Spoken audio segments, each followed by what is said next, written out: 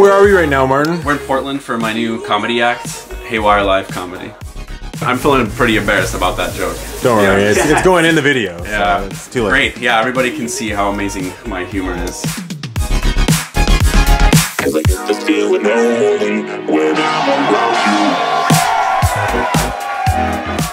Buddy? Incredible.